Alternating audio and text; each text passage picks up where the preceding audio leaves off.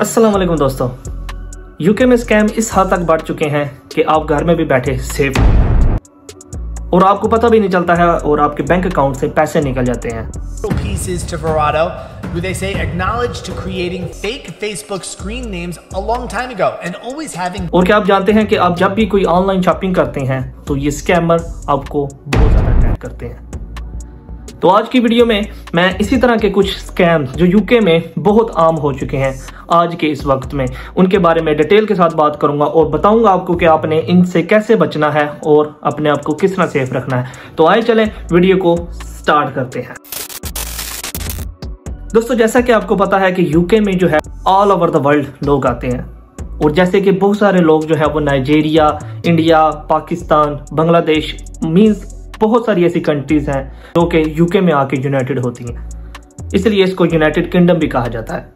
तो इसी वजह से कुछ लोग ऐसे हैं जो नाइजेरिया से हैं, वो आईटी में बहुत ज़्यादा महारत रखते हैं।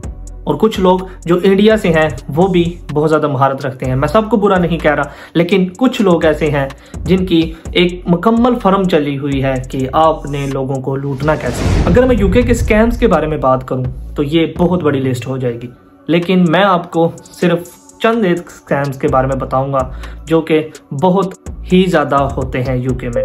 तो सबसे पहला स्कैम जो यूके में आम हो चुका है, वो है आपका बैंक अकाउंट यूके में बहुत सारे लोग ऑनलाइन शॉपिंग करते हैं, जैसे टीमो अमेजोन ईबे और ये तमाम वेबसाइट्स जो ई कॉमर्स की वेबसाइट है, उनके ऊपर से जाके लोग शॉपिंग करते हैं। इसी वजह से जो स्कैमर्स होते हैं, वो आपको ज़्यादा अटैक करते हैं।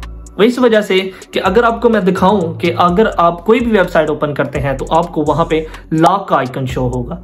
लॉक का आइकन ये है कि आपकी तमाम इंफॉर्मेशन जो है वो वहाँ पे सेफ़ होती है। लेकिन कुछ ऐसी वेबसाइट भी हैं जो आपको ईमेल के थ्रू मिलती हैं। अब ईमेल में आपको लिंक आता है कि आप इस लिंक पे क्लिक करें और आपको जो है वो कोई कोई भी टूल जो है वो, कोई भी शॉपिंग कोई भी कपड़े जो हैं, वो बहुत सस्ते मिल जाते हैं मार्केट प्राइस से। तो इसी वजह से जो है वो लोगों को मौका भी मिल जाता है कि आप उनकी वेबसाइट पे जाएँ और अपना डाटा उनको दे दें। तो ऐसे होता क्या है कि सिर्फ़ आपने उनकी वेबसाइट ओपन करते हैं और जाके देखते हैं कि जो चीज़ बाहर मार्केट से तीस पाउंड की मिल रही है, आपको वो पाँच पाउंड की मिल रही होती है। तो इसी वजह से आपको भी दिल में बेचैनी होती है कि ये पाँच फाइव पाउंड की चीज़ मेरी है और मैं इसको खरीदूं। तो आप जैसे ही उसको खरीदने की कोशिश करते हैं, अपनी बैंक की डिटेल डालते हैं वो चीज़ आपके घर में आ भी जाती है, लेकिन उसके बाद आपके अकाउंट से फाइव पाउंड की जगह थर्टी पाउंड निकल जाते हैं। और यही एक चीज़ है कि यूके में आपको अपना अकाउंट जो है मींस आपका जो सोर्ट कोड है, उसके बाद जो आपका अकाउंट नंबर है, और एक थ्री डिजिट का सिक्योरिटी कोड जो आपके कार्ड की बैक साइड पे होता है, वो आपने कभी भी किसी को नहीं बताना। क्योंकि ऑनलाइन शॉपिंग पे कभी भी आप पिन नंबर नहीं मांगेंगे वो आपसे। पिन नंबर हम लोग यही समझते हैं कि पिन हमारा सबसे अहम है, लेकिन नहीं। आपका जो सिक्योरिटी कोड है कार्ड की बैक साइड पे, वो सबसे ज़्यादा अहम है। और उसके बाद यूके में आपका सोर्ट कोड अहम है। क्योंकि सोर्ट कोड से आपके बैंक का पता चलता है कि आपने, आपका अकाउंट जो है वो किस बैंक से है। तो वो पर्टिकुलर बैंक को ही टारगेट करते हैं। और जहाँ तक बात करूँ मैं कि सबसे ज़्यादा बैंक कौन सा टारगेट होता है तो वो है मोन्जो मोन्जो एक ऐसा वाहिद बैंक है जिसकी फ़िज़िकल ब्रांच बिल्कुल भी नहीं है। तो इस वजह से ये सिर्फ़ ऑनलाइन बैंकिंग है। आप ऑनलाइन ही अपना अकाउंट ओपन करते हैं ऑनलाइन ही आपने सारी शॉपिंग करते हैं, आपका ऑनलाइन ही घर में कार्ड आ जाता है। तो ये तमाम चीज़ें ऑनलाइन ही होती तो स्कैमर्स को ऑनलाइन पे आपको टैग करने में बहुत आसानी हो जाती। तो इस वजह से उस वेबसाइट को यूज़ नहीं करना जो सर्टिफाइड नहीं है। दूसरे नंबर पे स्कैम की बात करूँ तो वो है आपका व्हाट्सएप स्कैम मीन्स यूके में अगर आप कोई भी ग्रुप जब ज्वाइन करते हैं, खास तौर पे रिलीजन ग्रुप जैसे हम लोग जो हैं, हम मुस्लिम लोग जो हैं, वो अपने किसी मस्जिद में जाते हैं तो वहाँ पे जाके अब हम कोई ग्रुप ज्वाइन कर लेते हैं। कि मीन्स वहाँ पे हमें अपडेट मिलती रहे कि वहाँ पे क्या हो रहा है, कब कोई इवेंट है, कोई कुछ भी है। इसी तरह दूसरे जो रिलीजन है, जैसे क्रिश्चियन है हिंदू है, वो अपने किसी मंदिर या किसी भी जगह पे जाते हैं तो वहाँ पे जाके अपना ग्रुप क्रिएट कर लेते हैं कि उनकी कम्युनिटी बन सके। लेकिन आपको नहीं पता कि उन ग्रुप में आपके अलावा भी बहुत सारे लोग हैं। उन बहुत सारे लोगों से मुराद मेरी मलेशिया, इंडोनेशिया और नाइजेरिया है। ये लोग, वो लोग हैं जो सिर्फ़ और सिर्फ़ आपको स्कैम करने के लिए वहाँ पे ग्रुप में एग्जिस्ट करते हैं। ये लोग क्या करते हैं कि आपके ग्रुप में से ही आपको देखते हैं, आपकी नंबर जो है वो जितने भी हैं, क्योंकि ग्रुप में तमाम नंबर शो हो रहे होते हैं कौन कौन उस ग्रुप का मेंबर है। तो इस वजह से उस नंबर के ऊपर ये कॉल करते हैं। कॉल करने के बाद मैं ये इस ग्रुप से बात कर रहा हूँ।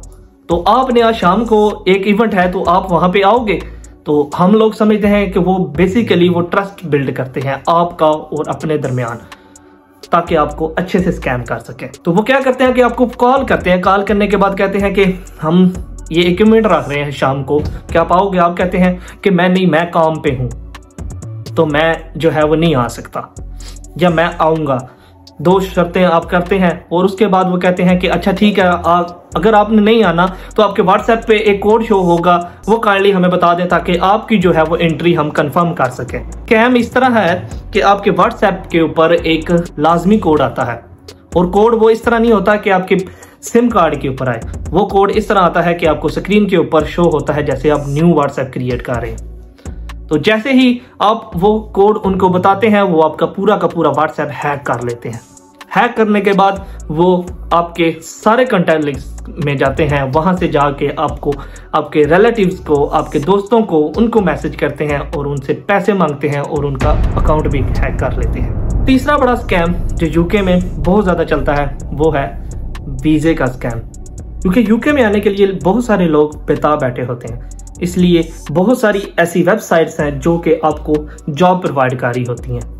लेकिन जॉब प्रोवाइड करने का उनका सिर्फ़ एक ही मकसद होता है कि किसी तरह आप उनमें रजिस्टर हो और वो आपको स्कैम कर सके। उसके लिए वो क्या करते हैं? वो एक एडवर्टाइज लगाते हैं। एडवर्टाइज लगाने के बाद आपको जो है ऑफ़र लेटर दिखाते हैं जॉब की। कि आपका ऑफ़र लेटर आ चुका है। आप इतने पैसे फ़ीस के दें और आप यूके में इंटर हो जाए। लेकिन कोई भी एम्प्लॉयर यहाँ पे यूके में कभी भी आपको ऑफ़र लेटर पहले नहीं देता। वो इस वजह से क्योंकि उनकी एक प्रोसेस होता है। वो सबसे पहले आपकी सीवी मांगेंगे। सीवी मांगने के बाद आपका इंटरव्यू करेंगे। इंटरव्यू करने के बाद वो आपको हायर करेंगे या नहीं करेंगे, ये उनका डिसीज़न होता है। लेकिन वो कभी भी आपसे पैसे नहीं मांगेंगे और आपको ये नहीं कहेंगे, आप जाके एम्बेसी से अपॉइंटमेंट ले और यूके में आ जाए। क्योंकि सारे के सारे पैसे उन्हीं ही के अकाउंट में जाते होते हैं। चौथे नंबर पे जो स्कैम है, वो है घर का स्कैम यूके में लोग घर ढूँढने के लिए बहुत बेताब होते हैं, क्योंकि यूके में लोग आ तो जाते हैं लेकिन उनके पास कोई रिहाइश नहीं होती है। तो इसलिए वो जगह जगह अपने कॉन्टैक्ट बनाते हैं और जगह जगह डिफरेंट एजेंसीज को ट्राई करते हैं कि किसी तरीके से हमें घर मिल जाए। लेकिन कुछ ऐसे लोग भी हैं जो व्हाट्सएप पे और फेसबुक पे लोगों के साथ रब्ता करते हैं, उनको कहते हैं कि हमें घर चाहिए। या किसी फेसबुक के ऊपर या व्हाट्सएप के ऊपर वो आपको एक एडवर्टाइजमेंट दिखाते हैं कि टू बेडरूम हाउस है थ्री बेडरूम हाउस है। अवेलेबिलिटी के बाद वो आपको बताएँगे कि इसका डिपॉजिट जो है वो एट पाउंड है। लेकिन आपको बताता चलूँ कि कोई भी पर्सन डिपॉजिट जो है वो 800 पाउंड नहीं लेता। आपको मार्केट का यूके का पता होगा कि आप कोई भी जो घर ले रहे हैं, उसकी जो रेंट है वो कितना होगा। क्योंकि यूके में इस वक्त के लिए मैनचेस्टर की अगर मैं बात करूँ तो 800 से 900 तक रेंट चल रहा है। लेकिन अगर कोई आपको बोले कि आपको मैं 500 में टू बेडरूम का हाउस दूँगा तो आपको वहाँ से ही समझ आना चाहिए कि आपको ये सरासर स्कैम कर रहा है। आपकी बैंक अकाउंट की डिटेल मांगेंगे, वो भी आप उनको देंगे तो वो सिंपली आपके जो है वो बैंक अकाउंट पे अटैक करना शुरू कर देंगे तो दोस्तों, ये तीन चार स्कैम जो यूके में बहुत ज़्यादा आम हैं, जिनके बारे में मैंने आपको बताया है, और बाकी के जो स्कैम्स हैं, उनके बारे में भी मैं डिटेल में वीडियो बनाऊँगा। तो अपना बहुत सारा ख्याल रखिएगा। अल्लाह हाफ़